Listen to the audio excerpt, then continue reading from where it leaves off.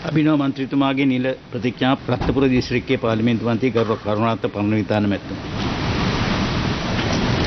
කරුණාරත්න පරණවිතාන කියවන මම ශ්‍රී ලංකා ප්‍රජාතාන්ත්‍රික සමාජවාදී ජනතාවගේ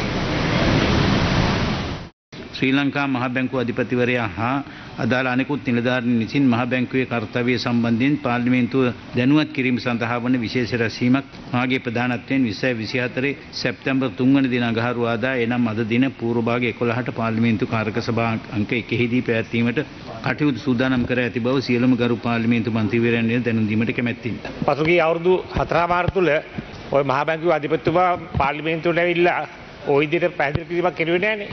අස්පේ පැනලා ගියයින් පස්සේ ස්ථාන දොර වහනවා වගේ වැඩක්. එතකොට මේ මොන කමිටුවක් යටතේද මේ මේ සාකච්ඡාව ගන්නෙ? මෙම ඇඩ්හොක් විදිහට කරන්න පුළුවන්ද? මේ තීරණයක් අරගෙන තියෙද්දි ඇයි මේ තීරණය වෙනස් කරලා තියෙන්නේ? අපේ මුදල් කාරක සභාවට දන්නලත් නෑ මේක. මම හිතන්නේ මේ දැනුවත් කිරීමක් කරන්න තමයි කතා කරලා තියෙන්නේ. අද මුදල් කාරක සභාව හම්බ වෙනවා දහමාට. තාක- මුදල් කාරක සභාවට නම් මේක ඉදිරිපත් කරන්න ඕනේ. ඒක මුදල් කාරක සභාවට ඉදිරිපත් කරලා අනිත් මන්ත්‍රීවරුන්ට දැනුවත් කරන්න පුළුවන් ඒකට එන්න කියලා. ඒක කිසි ගැටලුවක් නෑ. දැන් කතානකුතුමා නිවේදනයක් කළහැන් පස්සේ ඒක අයිත් වෙනස් කරන්න බෑ. ද- අද 11ට ඒක රැස් වෙනවා නම් එතෙන් දුවේ ප්‍රශ්නේ මතු කරන්න. ඉතින් ඒකේ වරදක් තියෙනවද මන්ත්‍රීවරු දැනුවත් කරන්න කි. ඔව් වරදක් වරදක් නෙමෙයි. අපේ නීති අනුව තියෙන්නේ පාර්ලිමේන්තුවට හරි ඔබතුමා කියන කාරණයට ඕක අනිවාර්යෙන් ඔබතුමාගේ කාර්ය සභාවට එනවා. හැබැයි එහෙම එනවයි කියලා මන්ත්‍රීවරු දැනුවත් කිරීමේ කිසිම වරදක් මට පේන්නේ. ගරු ඇමත්තුමා ඇත්තටම මම අද මේ ප්‍රවෘත්ති බලනකොට විශ්මයට ලක් වුණා මේ ඩේලි මිර ප්‍රවෘතියේ ප්‍රකාශයක් දැක්කා ලක්ෂ ගණනක් සංචාරකයෝ රටට ඇවිල්ලා මේ සංචාරකයෝ ශ්‍රී ලංකා ගුවන් තොටුපලේ රැඳී සිටිනවා පැය ගණනාවක් ලංකාවට එන්න අවශ්‍ය කරන වීසා ලබා ගැනීම සඳහා ඔන්න රයිවල් වීසා විතරයි දැන් මෙයාට ඉෂු කරන්න. ෆේස්බුක් එකේ දාලා තිබුණා මේ සංචාරක කොයි තරම් අපහසුතාවයට ලක් වෙලා තියෙනවද කියන එක. මාලදිවයිනේ මේ වෙනකොට ලංකාවට උනා සමානම දෙයක් වෙලා තියෙනවා. ලං- මාලදිවයිනේත් නැව්ටික ඇවිල්ලා මුහුදේ තියන් ඉන්නවා විදේශ සංචිත නැතුව ඒ රටට ඇතුල් කරගන්න. ඒ සංචාරකෝ දැන් ලංකාවට ඇදෙනවා. ඒ නිසා ඊයේ කැබිනට් මණ්ඩලයේදී තීන්දුව කරා ෆ්‍රී වීසා නිකුත් කරන වැඩපිළිවෙලක් හා මේ වෙනකොට රටවල් 38කට දීලා තියෙනවා ෆ්‍රී වීසා ලංකාවට ඇතුල්වීම.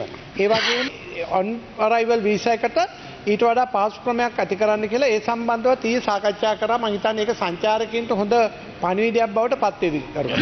කියන්න කැමති මේ මේ දිනවල දිගින් දිගටම යනවා මේ මාතර අ, ගා- මේ ඉඩම් ටික මේ ආණ්ඩුවට පවරා ගන්නවා කිය. ඒක සම්පූර්ණ අසත්‍යයක් එහෙම එකක් නැහැ.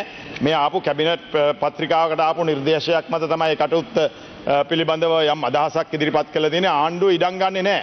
ආණ්ඩුව දැන් ඉඩම් වි- ලක්ෂ 20කට ඔප්පු ලබා දීලා රජයේ සතුව ඉඩම් ජනතාවට දෙන වෙලාවේ ආණ්ඩුවට ඉඩම් ගැනීමේ අවශ්‍යතාවයක් නැහැ. ඒ වෙන උත්සාහයක් දැ- ඒ වෙලාවේ තිබුණේ දිගින් දිගටම යට වෙනවා නම් ඒකට වන්දියක් දීලා ඉඩමම ඒ ගොවියට දීලා වෙනත් වගාවක් කරන්න ආධාරකුත් දෙන්න තමයි යෝජනා කරලා තිබුණේ. නමුත් ඒක වැරදි විදියට ගියා කොමටත් ඒක දැන් සම්පූර්ණ නතර කරලා තියෙනවා. ඒ වගේම පාර්ලිමේන්තුවේ තේරීම් කාරක සභාවක් මේ වන විට ස- පත් වෙලා තිබෙන නිසා අපි අවසාන වශයෙන් තීන්දුව කරලා තියෙනවා. කැබිනට් මණ්ඩලය පිළිබඳව සාකච්ඡා කරලා තිබෙනවා. පාර්ලිමේන්තු තේරීම් කාරක සභාවෙන් දෙන්නේ කුමන යෝජනාවද? එම යෝජනාව ක්‍රියාත්මක කිරීම සඳහා ආ, කටයුතු කරනවයි කියන එක තමයි දැන්ට තිබෙන එකගතාවය. අගමැතුමා කැබිනට් එක අනුමතියක් කරන් තියෙනවා කියනවා ඔබ රජයේ සේවකයට 25 පඩි වැඩි කිරීමක් සඳහා මේ රනිල් වික්‍රමසිංහ ජනාධිපතිතුමා ජනාධිපති වුණා නම් 2025 අනිවාර්යයෙන්ම දෙනවද නැත්නම් පොරොන්දුවක්ද කියලා මහන්නේ ඒක. රාජ්‍ය පරිපාලන ස්වදේශ කටයුතු අමාත්‍යංශයේ රාජ්‍ය අමාත්‍යවරයා විදියට මම සතුටු වෙනවා නිලධාරීන්ට කාගෙන් හරි පඩි වැඩිවීමක් වෙනවනම්. කාගෙන් හෝ මේ තියෙන දරිද්‍රතාවය මත ජීවත් වෙන්න සුදුසු වැටුපක් වේතනයක් වැඩි වෙනවා නම් මේ කාලේ සීමාව තුළ උන්ට ලැබෙනේ පොරොන්දු ඉටු වෙනවා නම් මම ඒක ඉතාමත් සතුටු වෙනවා අමාත්‍යවරයා විදියට.